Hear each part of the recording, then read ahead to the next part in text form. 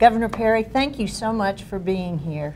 Oh, you're welcome. This is a big honor for me to come and to uh, publicly sign a piece of legislation, actually two pieces of legislation that are uh, going to continue to make uh, home ownership and property ownership uh, uh, very much at the top of the importance of areas that we care about in the state of Texas. One of the things I'm most uh, appreciative of is I live in a state where people truly understand the importance of private property and ownership of it and the protection of uh, that. Freedom and liberty still means something in Texas. Well, I really appreciate that, and I know you've been an advocate for private property rights your entire career. And as a realtor, we really are appreciative of that kind of support. How important was it to the passage of this legislation to have realtors across the state supporting this bill? Well, I will tell you that the Texas uh, uh, Association of Realtors, uh, one of the most influential uh, groups in Austin, Texas, when the realtors stand together and uh, proclaim their support or their opposition to a particular piece of legislation, it matters.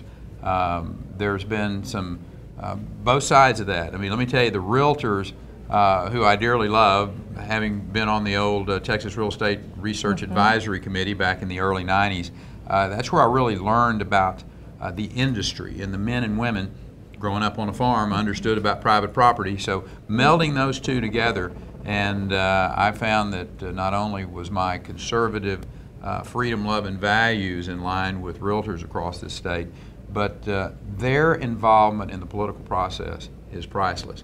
And one of the reasons that Texas economy is so strong today is because we have a strong private property rights system in place, but we also have men and women in the commercial and residential side of real estate that are out there helping create this very powerful economic engine that is leading America. Uh, I will suggest will lead America out of this recession.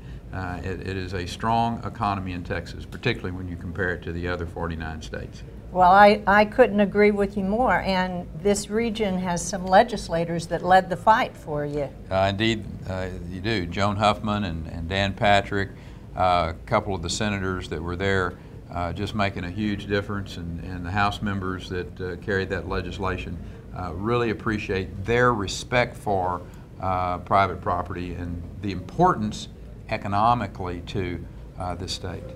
Well, we couldn't thank you more for, for gracing our, our building, the one that we think is so highly of, and, and signing this uh, legislation. Well, you're welcome, and uh, again, uh, this is a team effort. And uh, it's, it's not just the House, it's not just the Senate, it's not just the governor's office. Uh, It's also the, the private sector partners that we have. Mhm. And um, it is so good to stand with the realtors across this state as we continue to show America how to lead uh, economically. Well, we certainly will. I've said it repeatedly this year.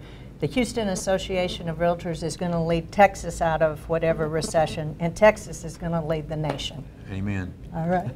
Thank Well you. said.